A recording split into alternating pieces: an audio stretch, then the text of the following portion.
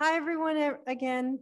Um, Marianne LaMonica from the AMC. So I'm here to welcome our lead sponsor, Sotheby's, um, who is presenting a panel called Understanding NFTs and the Opportunity for Museums.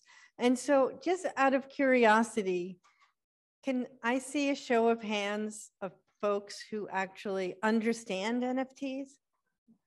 All right, well, that's okay. That's okay. because I'm really looking forward to this conversation. Um, I've been doing my due diligence and I've listened to many conversations, but it's the kind of thing I think it takes a little effort and time to really understand.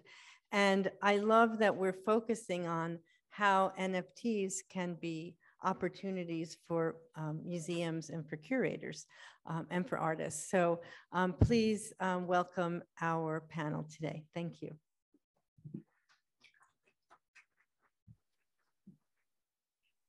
Good afternoon. We're so thrilled to be here. My name is Christy Coombs. I'm Senior Vice President at Sotheby's Advisory. I know many of you. I can see some friends behind those masks out there. So thank you for joining us today. And I may ask the other uh, panelists just quickly to give their names and then we'll dive into the questions. Is this, yeah. Hi, everyone. Thank you um, for having us. Thank you, Sotheby's and AAMC. I am uh, Charlotte Eytan. I'm the director of the Particle Collection. Is this on? Hi, I'm Nina Del Rio, and I know some of you, not all, I um, run Sotheby's Advisory, which really just means I have the pleasure of working with museums, large public entities, cultural institutions, um, in the work that we do at Sotheby's, which we've had, we have done for many years. Um, and here with, with many of my colleagues today, and really happy to see everybody. And uh, hi, my name is Jose Rosero, and I'm working with a platform uh, called DoinGud, where we're combining uh, NFT art sales with social impact.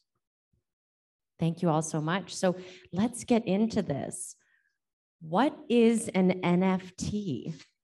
Nina, can you give us an overview? I hardly. Um, we, I absolutely will. I, I sort of want to frame this conversation though a little bit so that we can because I, I, have a feeling and i haven't spent any time with either one of these panelists so this will be really interesting but i have a feeling that there will be a few themes that will bubble up so why are we talking about nfts at the aamc conference well in fact I mean, Sotheby's has only been selling NFTs for a little over a year. And I would say about six months ago, maybe eight months ago, the director of the AAMD came to me and said, Can you just talk to a few museum directors about NFTs? And I said, I, am not a technologist, I know nothing. And what our CEO, myself, and one of our, our um, counsel just got on a Zoom call, which we thought was going to be a few people, and it ended up being 60 museum directors. And we really got into it with NFTs. And it and it started our thinking about how can we be working with museums and help museums to answer this question of what to do with NFTs and where do we fit in. So I want you to think about the, the name of this panel. It really is a question. We are trying to understand with all of the, the organizations we work with, with all of these museums, how can we create opportunities for museums? And so we get two very basic questions from many museums. One is, should we be collecting NFTs? And the second is, how can we be creating a revenue opportunity for our institution using an NFT and, and really using works from the collection without actually divesting or deaccessioning those works? So those are two pretty big questions that we don't have the answer to. Just want to say that out loud. But we talk a lot with museums and with your colleagues about, about how to make this um, productive and how to make this, how to make the right decisions, whatever that means. So there are some other themes that run through the work that we do at Sotheby's. And what is an NFT, a non-fungible token? The, the fact that this is a non-changeable. It's not a dollar which you can exchange for something else. It's actually a thing that you cannot change. So why is that important? And again, I'm I'm I'm not a technologist, so please don't ask me to get technical in any way, but I will tell you about what I think are the sort of overarching really important themes.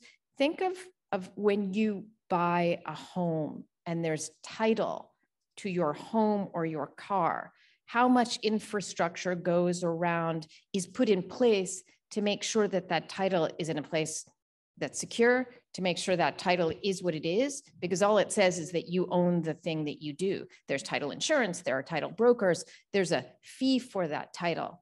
Well, in fact, imagine an NFT replacing your title. That NFT lives on the blockchain. You always will know where it is. You are the only person who can access it. It cannot be changed. That title, all those, all those people who are intermediaries to help you keep that title secure, all of that goes away. So think of that as like a really dumbed down example of what the potential could be for NFTs. So, and I don't want to go too far into this, but when you start thinking about an NFT as a unique object, either an, uh, an artwork itself or as an identifier for an artwork, think of authorship, think of provenance, think of what artists could do even in having an NFT associated with a sculpture or a painting, and all of the information about that work of art lives on the NFT. So I just want to plant these little seeds in this discussion because I have a feeling that the person to my left and to my right knows a whole lot more about this than I do. But we think about disintermediation, we think about creating revenue for institutions, and then we'll talk about smart contracts a little later and why they're important. Thank you, Nina. Do you have anything to add to that, Charlotte? No, I guess um, to add to what you said, um, for me, the way that because I I come from a traditional art world background, so for me to understand NFTs and get involved in the NFT space, it was very much about understanding it in the simplest of ways. And the way that I understood it is very much NFTs can be anything um, not just artworks, but it's if you, I usually use the example of a t-shirt. So, you know, if you buy a t-shirt, you uh, have to prove, you, you have the proof of the receipt saying that this is the t-shirt that I got. But NFTs exist on a blockchain, which uh, Nina said about, um, you know, and, and, and the thing about that is that it's, it's on a public ledger. So everything is traced. The provenance trail is there and it exists every time it is traded. So that's the proof without it's it's automatic proof. So if you forget your your your receipt, then you can't prove that that t-shirt is yours. But on the blockchain, you will know that that's the artist, that's the curator. Um, you will know that it's been traded and it went from this person to this person to this person, and there's no it's it's it's facts. The facts are there. So that's how I understood it uh, initially. Yeah. Thank you, Charlotte. I think that leads into this next slide and thinking about why the blockchain matters. And Jose, you had given some examples too of how you're you're speaking to people about the technology and the benefits of blockchain. We've touched on some of those anecdotes already today, but are there additional uh, sort of ways in which you're thinking about this and how you further explain the benefit and the opportunity that all of us can be considering? Uh, yeah, I, I, like to even simplify things and, and just think about the artist's signature. So, you know, you can think about artworks that you have to spend a lot of time proving that they're legitimate. In this case, you can always trace it back to the artist. And, and there's a lot of power there, you know, as, as a creator, um, not having to go through third parties to kind of um, prove these things. You can even have sovereign smart contracts rather than using a shared one on a, on a platform somewhere. Um, and, uh, you know, all, all of that kind of is encapsulated in this idea that uh, the individual can kind of retain ownership over their intellectual property. Their, their, they can get you know royalties in perpetuity, um, and these are some new models that that I feel like haven't really been explored in the traditional art world, um, and are being embraced by this new wave of creators and collectors and all all types of uh, players in, in the market. Thank you. May I just add to that? Because I think that was so well said. Um, giving the creator, the artist, the independence to be their own, and it's really the power both to be their own broker, but also to have something that, that says, I uniquely made this. Yeah. And because there's so much digital community building around NFTs, what has happened in the NFT art world is that so many creators are able to show their art and to not necessarily have to have an agent, a gallerist. So we live in and among the, among the gallery world and the auction world and respect everything that happens in that world. But again, this disintermediation, the, the, the artist no longer necessarily needing that agent, both to own their work, to promote their work, to, to sell their work. The existence of a smart contract, which essentially says, here's how that transaction, every time this work of art is sold, the transaction has to take place in this specific way because this transaction lives on the blockchain and someone else can explain what that is, but I can do a somewhat decent job of it.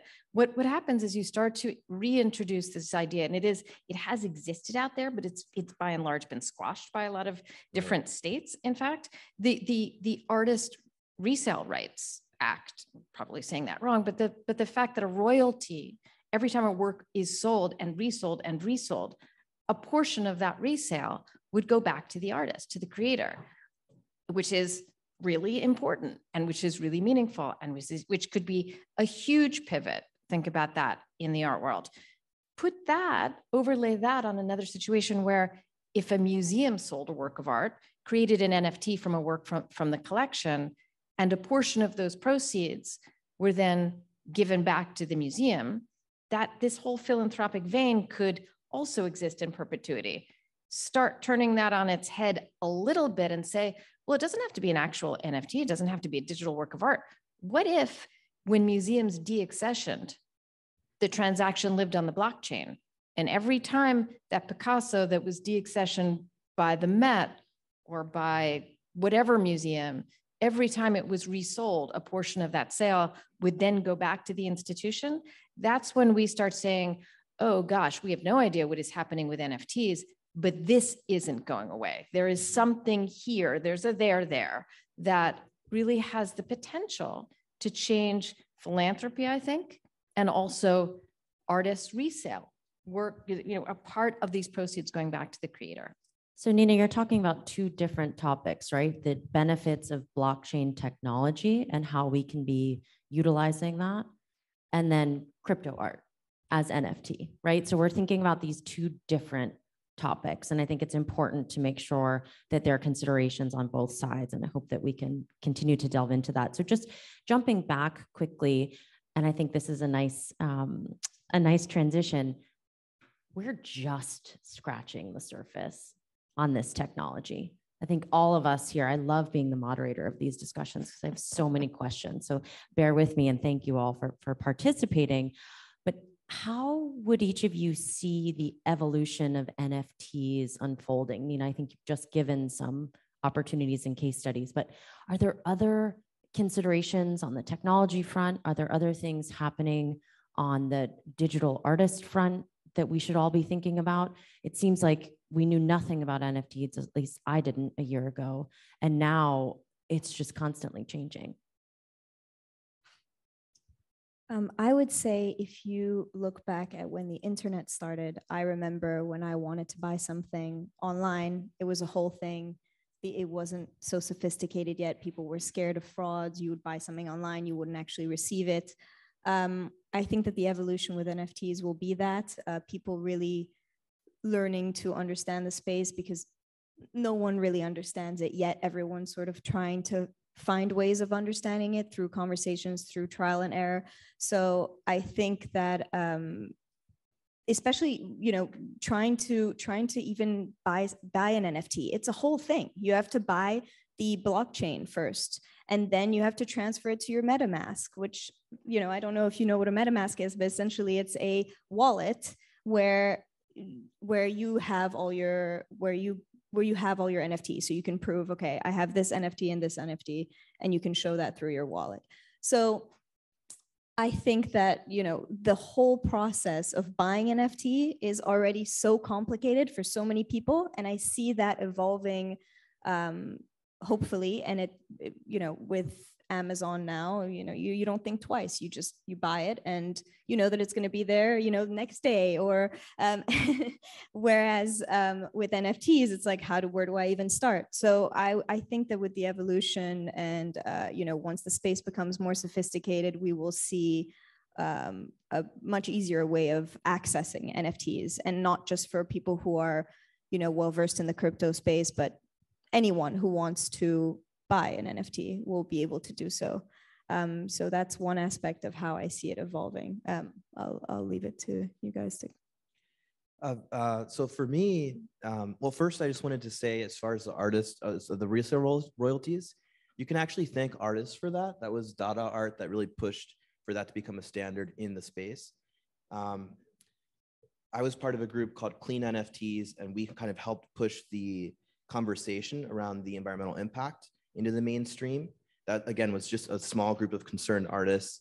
And now, you know, anytime there's a project that comes out, they, you know, they have to mention something about what they're going to do, uh, whether they're going to launch on a uh, proof of stake, which is, you know more um, energy efficient chain, or whether they're going to do carbon offsets or carbon removal.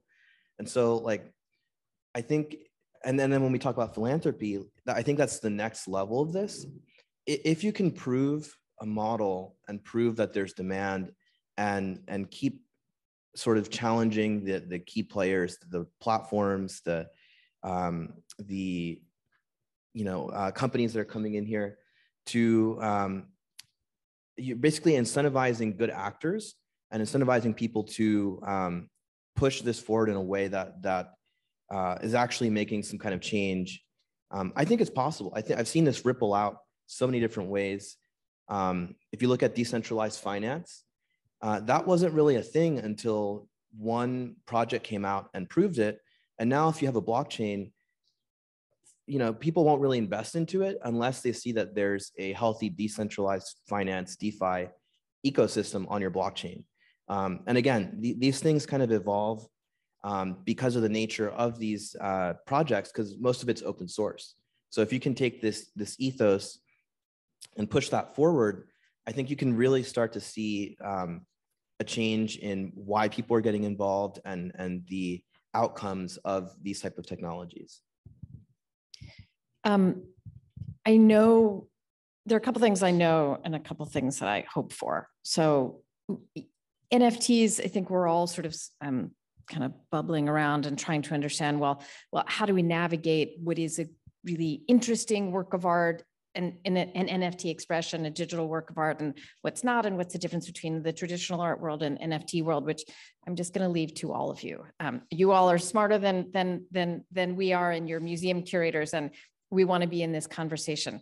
I think what what what we know, and what is really important, both within the commercial art business, but also in the nonprofit world, in the art world, among museums, is this is opening the door for lots more participation and there is an openness and a democratization, both, uh, you know, with, with in the finance world, um, what blockchain technology has allowed to happen has opened up, which is essentially transparency. How is the transaction being done? Full transparency. And think of the art market, by the way, just the the tran- the transactions in the art market, which by nature are incredibly opaque. So the potential for a transparent transaction brings in many more players because there is this disintermediation, because creators can get their art out there. And there is somehow, sometimes, a more visually accessible aspect to the NFTs that we're seeing out there in the marketplace. There is an openness that is happening. We didn't create it. We all of a sudden were the beneficiaries of it. But more than three quarters of the buyers in any of our NFT sales are new to Sotheby's. So that's huge.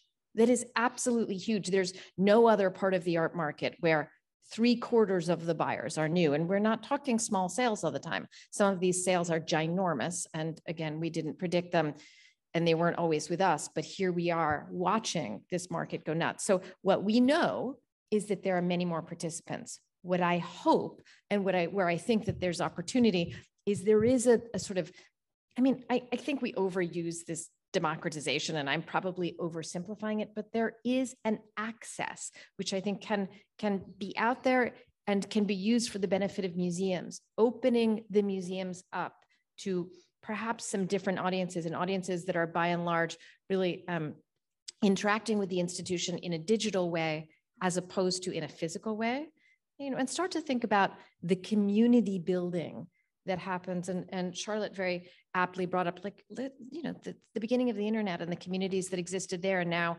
our Amazon transaction. I'm 100% with, with Charlotte. This will become easier. But the communities that by nature are building up around all of these really wonderful, beautiful visual artists, those could also be communities around institutions. And that's one of the conversations that we have again and again and again with different museums. So that's my hope. I think I think it's it's heading in that direction. I think so. I I I love how you put that. I think that NFTs are a lot about communities and the power of these communities that speak to each other and that you know so tapping into that audience as a as a museum i think is hugely beneficial because you'll see a lot of the under 30s coming in getting in, interested in art. I don't know if there's a way of you know introducing some sort of eh, patrons program through nfts where you see a wider engagement of audiences but um, those are all things to explore but definitely not to ignore because there's a huge potential there with um, lot of a lot of people coming together and speaking to each other and um, and i think there's there's pa- it's powerful because of that, right? So, yeah, on, on the topic of um, accountability and and community, um, here on the slide you'll see the Bored Ape Yacht Club, and uh, you know one of the most infamous projects, probably the the face of NFTs for most people. Um, they uh, the project uh, behind this actually just uh, did a, a sale for uh, I think it was like uh, deeds to virtual plots of land this happened yesterday, and um, you know they raised several millions of dollars and and actually kind of caused so much congestion on the Ethereum blockchain that it made it harder for other people to transact on whatever else they were doing. Um, but that being said, there's a large portion of the um, community, people who hold Bored Apes, people who don't hold Bored Apes, people who tried to buy in last night, who are trying to hold the uh, Yuga Labs, that the folks who kind of like were building all of this, accountable. You know, like this, if, if you are in this kind of open model, um, now you have this ability to kind of really um, speak to, you know, like r- rally together and speak to the people who are building and say, hey, like, we want to vote someone out. We want to vote for better practices you can't really say that about uh, Facebook or a Google or something like that. You know that you there, you don't really have any say in those kind of uh, platforms. So thinking about the dichotomy of what we're talking about, right? So that NFT as art, NFT as blockchain technology. Thinking now too about the different types of crypto art, and Bored Apes is a good example. Thinking about a collectible versus a unique object. And I, I, bring that up only on this slide and at this point only to then think about the credibility of, and authenticity of how a museum would engage in this space, not only accessing that community, but also being mindful of broader sort of collection, mission, institution goals are there recommendations or sort of thoughts you have on how museums could be? And of course, we'll want to open this up to the audience here that the curators will probably have the answer to this question, but um, suggestions or, or things to consider for how to do this. I mean, how do you get started? How do you do it in an authentic way? We saw, of course, the Uffizi selling an NFT. Um, is that six, nine months ago now? But I, it sounds like there are many more ways in which you could be leveraging this opportunity and thoroughly engaging the existing audience as well as drawing parallels with your traditional museum audience. So there are a couple of different questions embedded in both that statement and question, but I'd love to hear your thoughts as we're thinking about who we're speaking to in this audience today. So one of the questions that we we help museums think about, and again, you'll notice I'm saying it, we don't have the answer to this, but but we're the the conversation is evolving, and that is, if you are interested in creating an NFT from a work in the museum collection as a way to create a revenue stream, again, without deaccessioning that work, what should the NFT be? And the, the, the reference that, that Christy is making is to, of course, the NFTs that the Uffizi made which were essentially high resolution reproductions of paintings in the collection, incredibly iconic paintings that many people would not have the opportunity to, to see. They're not traveling to Florence. The lines are really long again. And, and so what's the value of a reproduction and essentially what's the difference between the NFT reproduction, I shouldn't call it an, and the NFT of the work of art and the coffee mug that you're selling in the Uffizi gift shop, right? So, so not a lot. And how do you make that interesting? I sound like I'm being incredibly disparaging.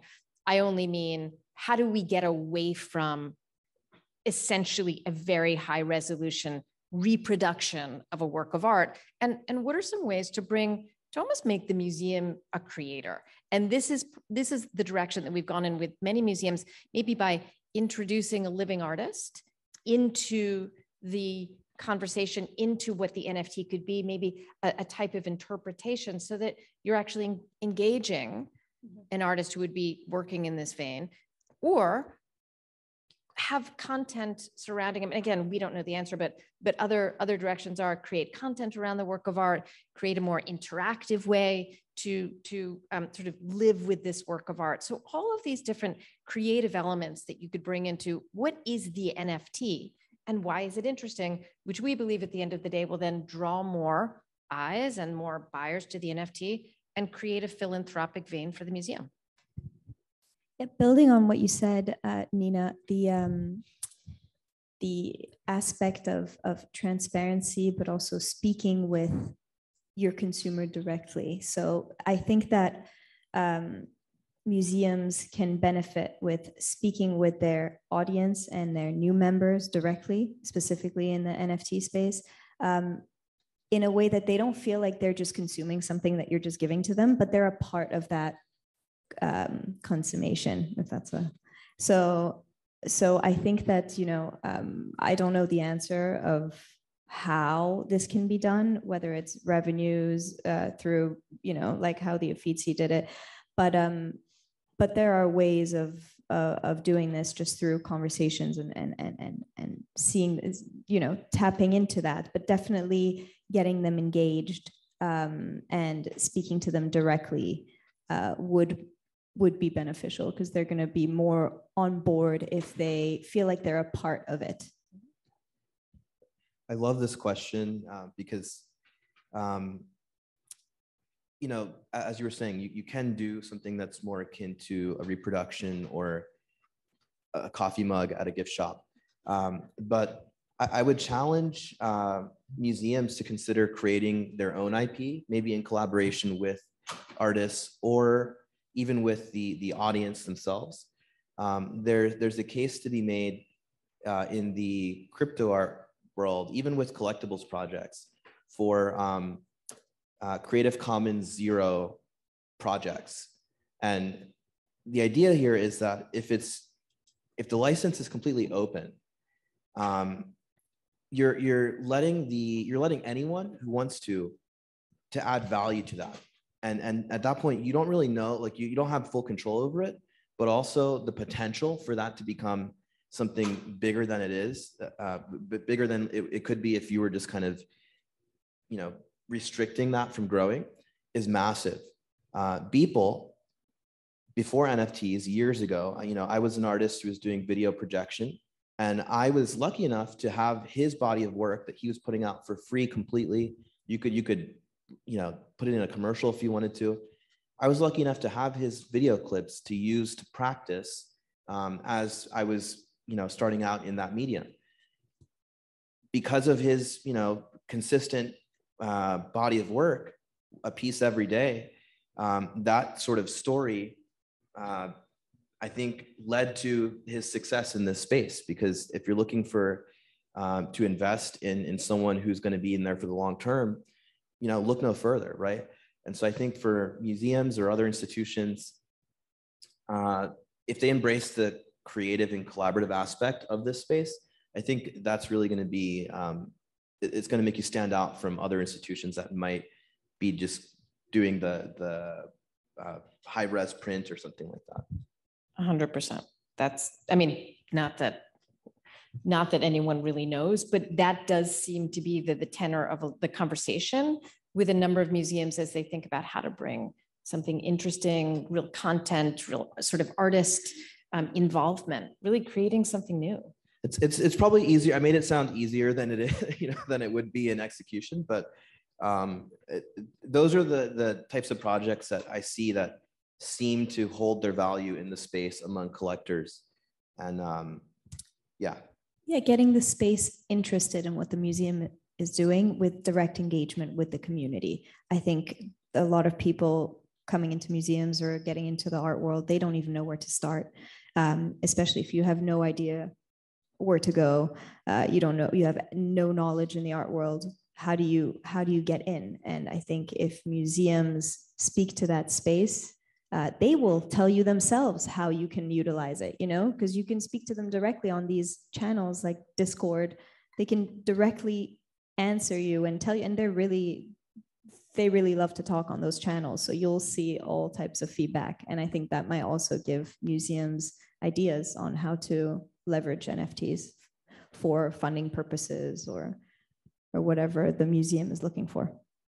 So the Beeple example is a nice transition. Certainly, at least from the market perspective, we started paying attention because of that extreme price that was achieved. And we've touched a little bit on digital meets physical. And I think this example is a good one to think about if how do you engage your existing audience and how do you engage a digital audience, right? So physical meets digital. And this second work uh, by Beeple, Human One, which is, there is a physical element as well as obviously the digital element.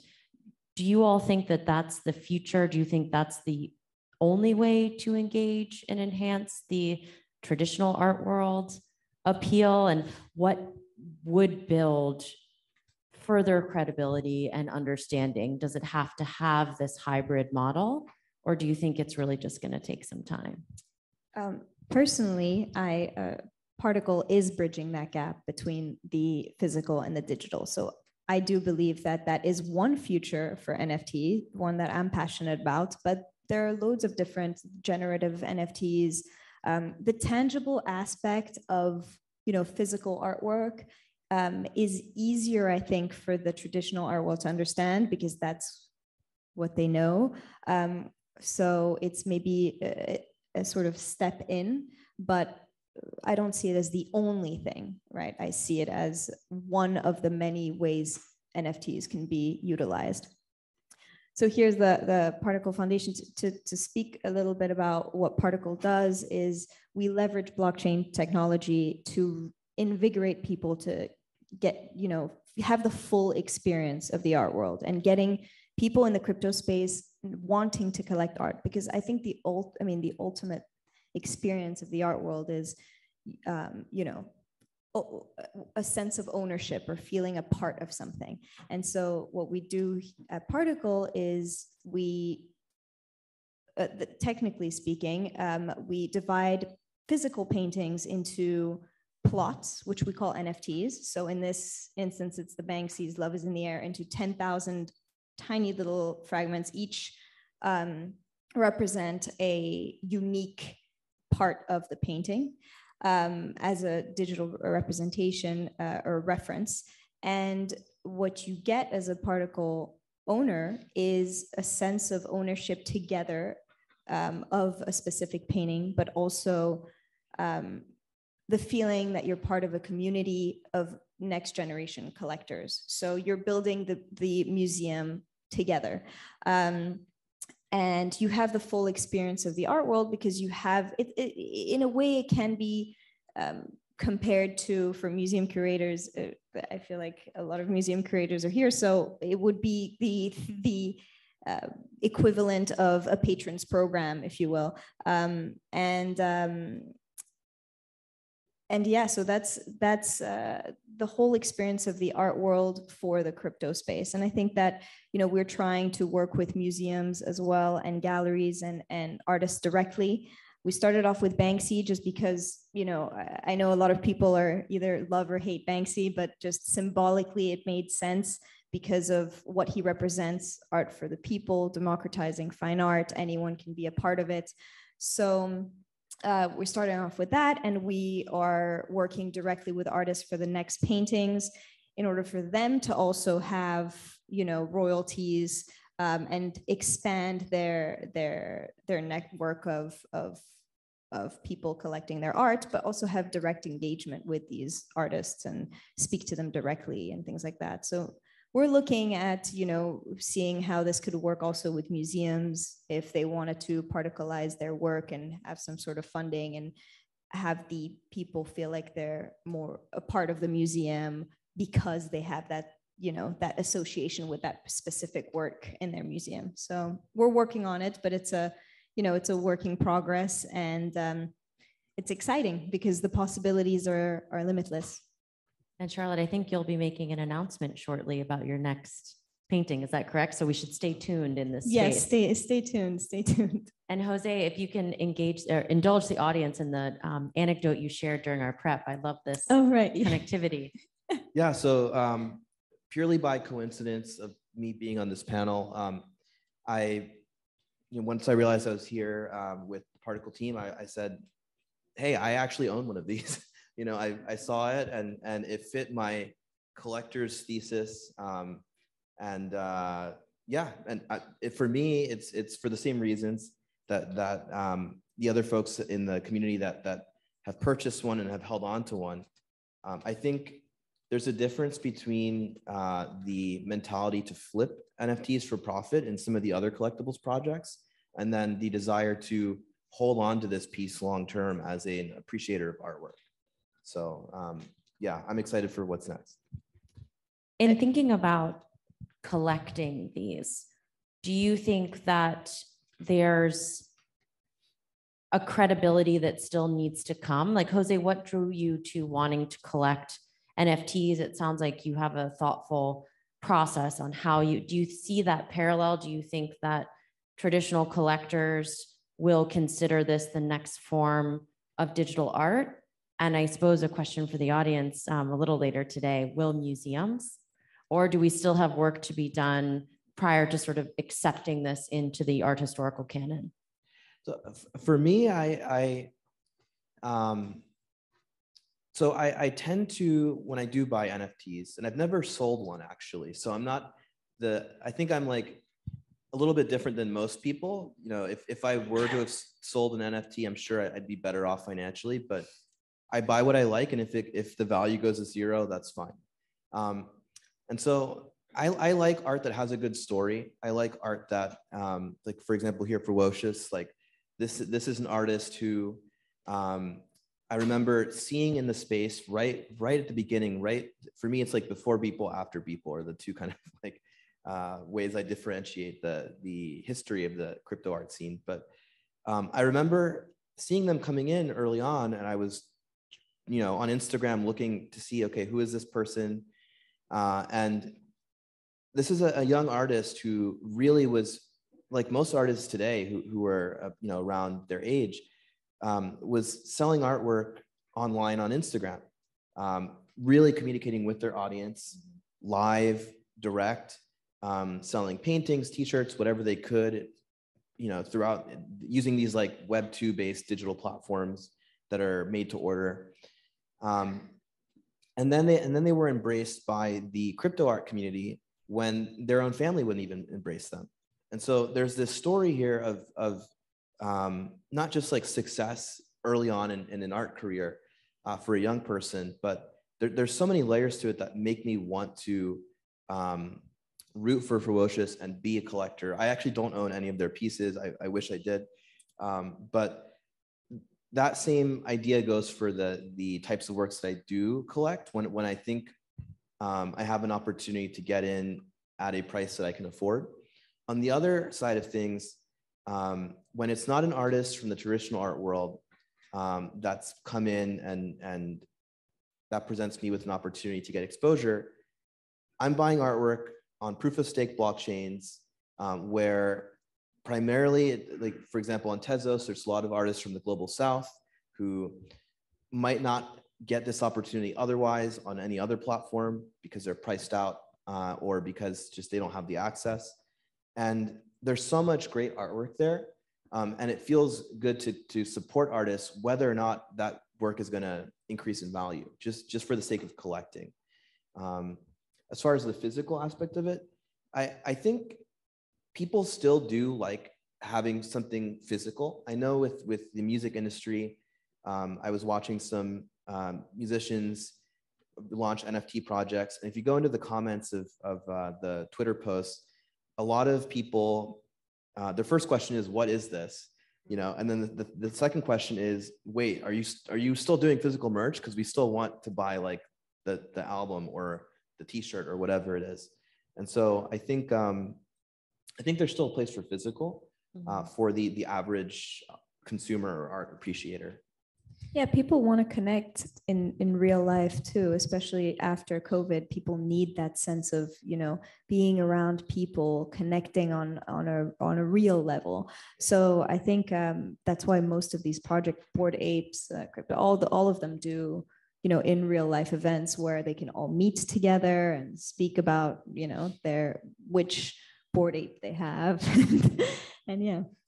So how do you display, oh, Nina, please go ahead. I'm just, I, I, I think it's so interesting actually having this conversation amidst curators from museums, because in fact, it is and will be your role to decide what your museum is going to collect or not. And, and here we are, all are talking about different iterations of NFT art, but it doesn't have to be art. And I think, I think what's underlying all of this is, again, democratization, the transaction is a whole lot different and more transparent. I, I like your um, example of Fewocious, who is, you know, selling his work on Instagram. But once once he, he creates an NFT, there's a whole lot more flexibility. And again, the ability to be his own agent. So what the art is, just to me, is not less important, but a whole lot harder to put my finger on, you know, how to curate and really to decide what to collect and not to collect. I think what's super interesting and consistent among all of these conversations is the communities that build up around them, the facility to use that community, to really all of a sudden have a community that is that will never walk through your door. The the opportunity with Particle to be part of a work of art and and the opportunity for artists to be creating and participating in resale, but also just not, you know, not having to engage with an auction house, a gallery, an agent, and and being sort of um, more flexible and more successful in getting their art out there. So that's what interests me in all of this. I want to make sure we leave time for questions. So this will be my last question for the panel. If NFTs are here to stay, will the bubble burst? And if the bubble were to burst, is it because of a change in taste, a change in technology, or a change in the economics around them? I'm going to quickly touch on this um, because we already have seen, I mean, the, the, the volatility and speed with which the NFT market is moving is, you know, light speed. We really, as an auction house, and we only deal in secondary market work, right? We're not out there promoting new artists necessarily. In NFTs, we, we start to blur that space. We've already seen, you know, this hyper um, uh, uh, gathering around NFTs to cool off a little bit. I'm just going to go back to the point I made before. I think I think the whole audience of art appreciators is going to decide what they want to pay for an NFT, what's an interesting NFT, what's what's uh, you know you as curators, what what is it worth my museum collecting? This market is here to stay because of the way that you can create and because of the way that you can buy art. So I think the market is only going to grow. I think really what will happen is that there's the potential for all transactions of all works of art to live on the blockchain and to have an NFT component to every single art that's created and every single art that you buy. So I think that the market itself only goes up. Remember, the buyers of NFTs in the beginning, and this is still holds true to a certain extent, there's a real parallel between investing in cryptocurrency in the crypto markets and NFTs, one buoy the other. Essentially, NFTs sort of follow that craze. So watch the volatility in your crypto investments. It's the same in your NFT investments. I think it's it's it's hard to predict that. Yeah, and I think the value of NFT sort of got sha- overshadowed by the volatility of it and how how it went up so quickly. But there's ways of harnessing it where I think that the value will remain. And I think most of the projects who are in it to make a quick buck, I think those will, you know, disappear very quickly, or that that's my view at least. and those that you know like jose have a story behind what they're doing something that's relatable something that the community can really engage with and collaborate with the you know the creator that made the nft or the museums that are presenting some sort of uh, way of engaging with an nfts that's more long term i think i see those staying. Um, ultimately like i keep saying the community is the one with the power and they're the ones that really drive the nft so if you can really build that community and engage with them i think those are the, the projects that will strive. Uh, quickly for me, I, I think what I'd like to see happen and is, is for the projects that have the most um, social value kind of locked in. So like, like I said, at DoinGud, every NFT that's minted by an artist, they get to choose a nonprofit or social impact org that we've onboarded. And then this, the royalties get split right? And, and the artist gets to choose a minimum 5%. And then the collector or the artist, they, they all have a dashboard where they can see where that impact has been generated. And so if we can change the mentality from bragging about how much money has been, you know, made from the from flipping an NFT to bragging about how much impact your collection has made and being able to verify that and track that and, and show that off. I think those could hold more value just because you can see that they've made some change in the world. Um, whereas all the derivative projects that are out there, um, you know, good luck, good luck to those. That's all I have to say about that. I'd love to turn to the audience, please, and hear um, either questions or how people are considering this technology at your institution. I think there are a couple of mics around too, if, if needed. Okay, so I, I don't think I need a mic, but I want to thank the AAMC for organizing informative panel. And, um, you know, I think we share the potential of this, or the recognition of this technology to really broaden engagement and culture. And Dean, I share your expansive view on the deployment for physical art and art and just creating more liquidity and transaction velocity. Charlotte, I've watched with fascination the, the particle community growing. And I just want to, I want to understand, like, just ask a question about, you know, on your homepage, you talk about, and you've talked with this, at this panel around like ownership and democratizing ownership and so on. And you point, point that out on the homepage. But on, in the fine print of that, you know, the page it illustrates that there's really no economic interest that the buyer gets from owning the particle. So just want to understand how you reconcile those two and, and what people really are getting and whether they understand what they're really getting when they buy a particle. Sure. Good question. um, I think with with with particle, when we say that we're, you know, there's no profit, we're talking about the physical work. So the physical work gets donated to the particle foundation, which essentially means that the value of the physical work is destroyed and then in a way it will never be sold. So the particle foundation will never sell this work. Um, it sort of protects it. And then the NFTs are traded and you can do so as you like. Hopefully you don't, and you're part of it. You know, you're part of the journey with us, and you keep buying these particles and building your collection. Um, that's the goal. Um, but um, what you get as a particle uh, holder is access to the art world. It's also um, a museum for the the people that own the art. So they feel like they have a say in ultimately we want them to have a say in um, in in you know the things what we acquire. Um, we have a voting system so they can just recently i asked them you know where would you like to see the banksy next? Because we're touring it around the world. Rather than having these works of art that you know museums and private collections sometimes they don't have the space for it. So it ends up in a storage space or in delaware or you know at the parc france so here it's really touring it so as many people can enjoy the art and feel really a part of it. Um, i don't know if that answers your question but the idea it's an access yeah of really the exactly. It's more um, it's more of like the ultimate experience of the art world and what that means. And I think um, you know, getting access to museums, getting access to our expertise with, you know, different people in the ecosystem.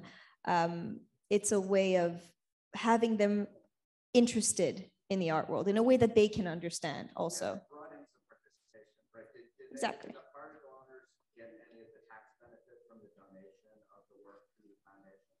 No, they don't. You're welcome. I think we had a question over here as well. Yes, please. And thank you.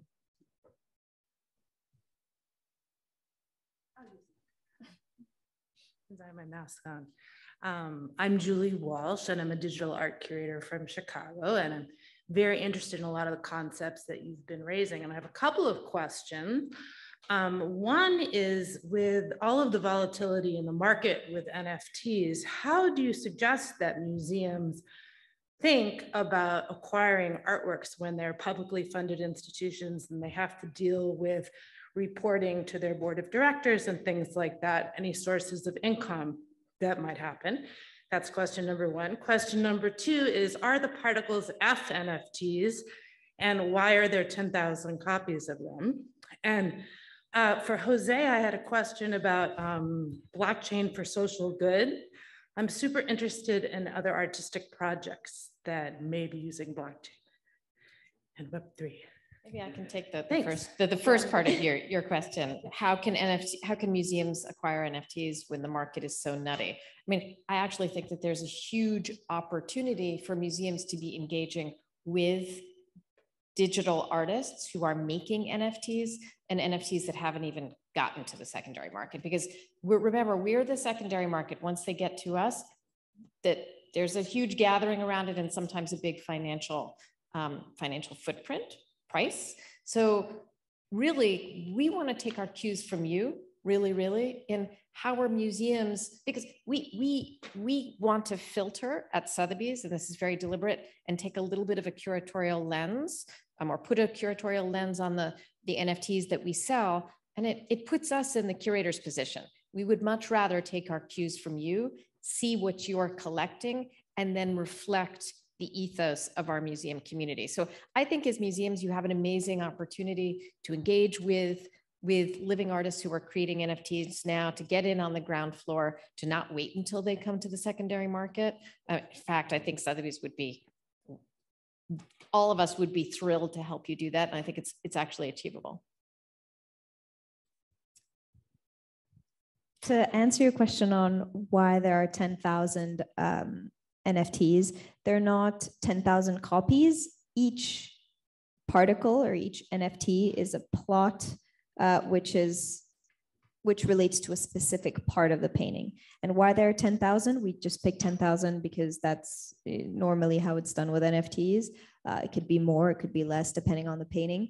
Um, but it gives the opportunity for, you know, 10,000 people to feel like they're a part of it. Rather than the, I think the Uffizi was a one off, right? That was, I think it was over, over $100,000. So I, it's, a, it's a completely different um, way of doing things.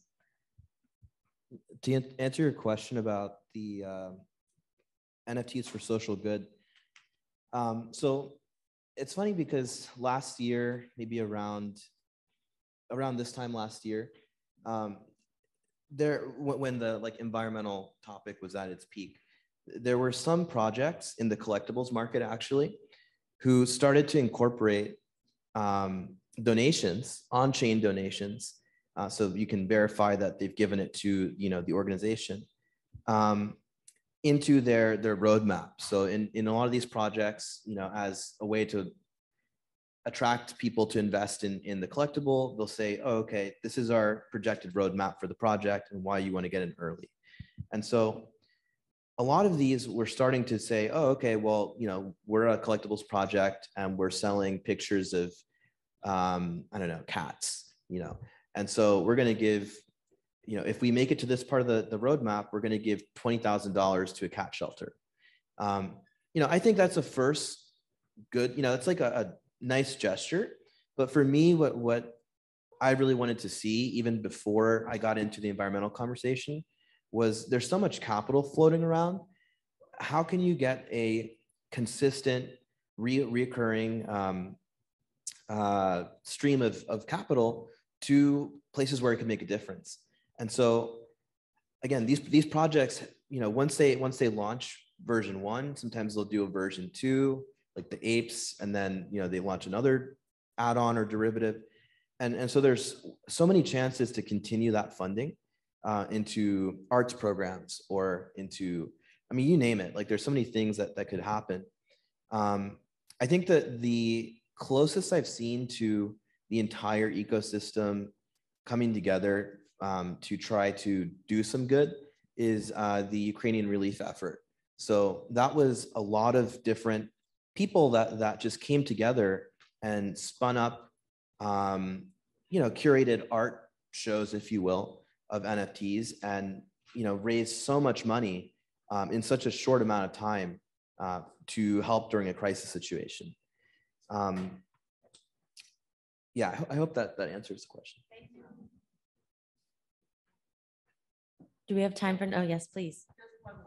Okay. Um, one question and directed towards Jose. When you were talking earlier, it was I guess introduce myself. I'm uh, my name's Ananda Searam. I'm head of art to culture at the British Consulate in New York. So not an art curator, but happy to be here.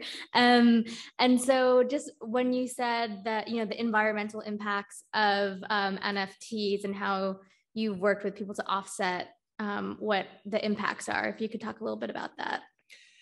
Yeah, so so it's funny because I I don't come from a climate background at all. I'm just a, an artist, a layman, if you will. Um, the reason why I got involved in that conversation is because I had some some friends of mine who were from the VR art community. Um, you know, before crypto really really took crypto art really took off, and um, they were they were concerned, and I was more concerned with this narrative that a lot of people on the Ethereum blockchain who you know they have to defend their investments. Um, as they were educating this new wave of collectors and artists, they were telling people you have to use Ethereum based platforms. Otherwise, the work isn't valid and there's no value there. And in my head, there were so many, at the time, there's a handful of our alternatives on other blockchains that are more efficient, more sustainable, cheaper um, to, to utilize, but no one was talking about them. And, and so I just didn't like that one sided narrative. So that, that's prim- primarily why I got involved. And then I started to learn about these different groups that were um, in coming into the space from the, the offsetting community, the removal, carbon removal community. Um, and now there's actually this movement called refi, which is regenerative finance. And so it's, it's a lot, it's in the past six months, it's kind of sprung up. And it's a lot of um, folks who are looking at ways to address climate change through um, these same mechanisms that have been able to you know, in in for example, Constitution DAO, like raising 45 over 45 million to oct to, to like try to win an auction for a copy of the Constitution. That's kind of just like a pretty wild idea, um, but it's such a simple thing to get on board with. And so I think uh, for a lot of these projects that want to make some kind of change, whether it's climate or, or impact related, um, I think if you can simplify that a little bit and turn it more into a meme and make it fun, um, I think that's the key to getting people involved um, at the ground floor and then supporting it like throughout the life of that campaign. I just want to thank the panel today for all of your insights. I hope that allowed the audience to consider different aspects of NFTs and maybe bring a little bit more um, sort of holistic approach to ways in which your institution could utilize this technology. So thank you all so much.